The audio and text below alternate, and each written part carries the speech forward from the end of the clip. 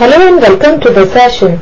In this session we'll discuss a question which says that tickets are numbered from 1 to 75. One ticket is drawn. Find the probability that number of ticket is either divisible by 3 or 5. Now before starting the solution of this question, we should know a result. And that is, if A and B are two events such that they are not mutually exclusive, then probability P of event A or B is equal to probability of event A plus probability of event B minus probability of event A intersection B. Now this result will work out as a key idea for solving out the given question. Now let us start with the solution of the given question.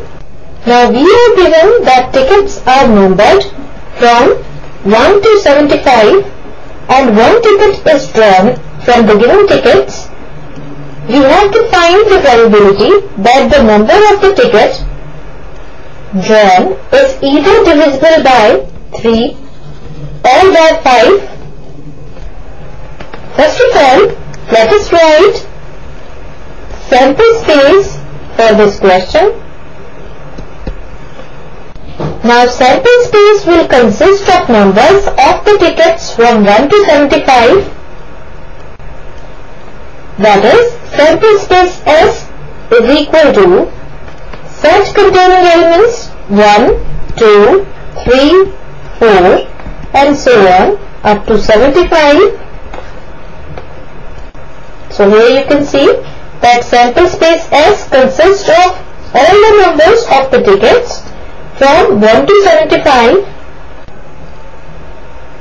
So sample space is a set containing all these elements which are 75 in number. So total number of outcomes is equal to 75. Now let us define the events. Event A is equal to number divisible by 3 and event B is equal to number divisible by 5. Now let us write elements of event A and these elements will be the numbers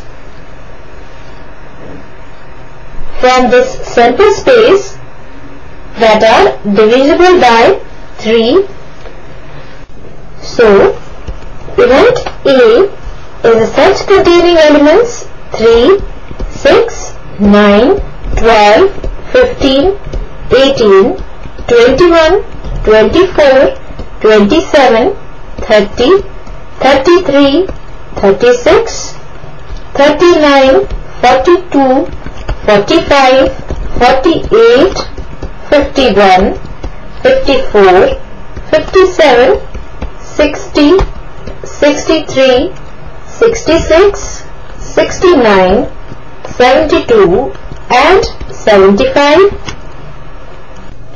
Here you can see that all these numbers are divisible by 3.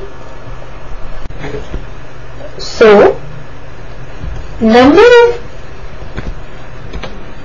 favorable outcomes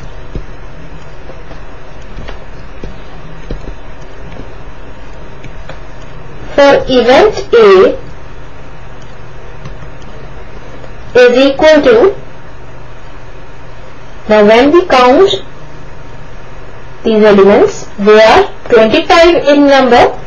So number of favorable outcomes for event A is 25 now here total number of outcomes is equal to 75 and Number of favorable outcomes for event A is 25. So probability P of event A is equal to number of favorable outcomes for event A that is 25 upon total number of outcomes that is 75. Now 25 into 3 is 75. So this is equal to 1 upon 3. So probability of event A is equal to 1 upon 3. Now let us write elements of event B. For this we will find the numbers from this sample space that are divisible by 5. So, event B is a set containing elements 5, 10, 15, 20, 25, 30, 35, 40, 45, 50, 55, 60, 65, 70 and 75 now here you can see all these numbers are divisible by 5. Now let us write number of favorable outcomes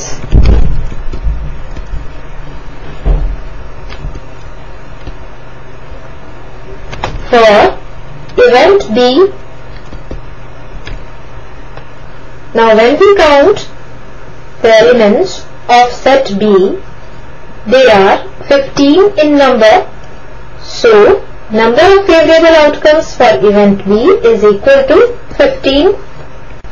So, probability of event B is equal to number of favorable outcomes for event B that is 15 upon total number of outcomes that is 75 now 15 into 5 is 75. So this is equal to 1 upon 5. Now this is the event A. This is the event B. Now A and B have some common elements so they are not mutually exclusive events. Now we have event A intersection B which is a set containing the common elements to event A and event B.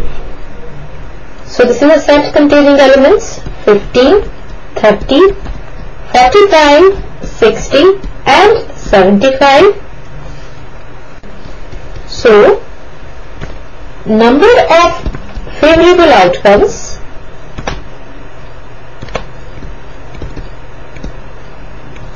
for event A intersection B is equal to 5.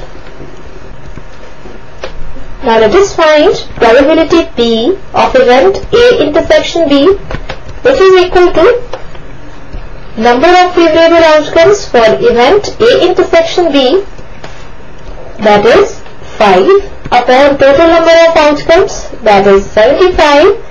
Now 5 into 15 is 75 so this is equal to 1 upon 15. Now we have to find probability P of event A or B.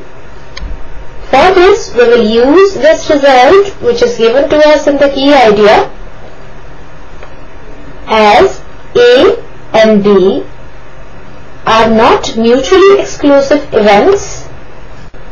So probability P of event A or B is equal to probability of event A plus probability of event B minus probability of event A intersection B. Now this is probability of event A and this is probability of event B and this is probability of event A intersection B now putting all these values here, this is equal to 1 upon 3 plus 1 upon 5 minus 1 upon 15. Now least common multiple of 3, 5 and 15 is 15. So in the denominator we have 15 Now we know 3 into 5 is 15 and 5 into 1 is 5 plus 5 into 3 is 15 and 3 into 1 is 3 minus 15 into 1 is 15 and 1 into 1 is 1. So this is equal to 8 minus 1 whole upon 15 which is equal to 7 upon 15. So probability P of event A or B is equal to 7 upon 15.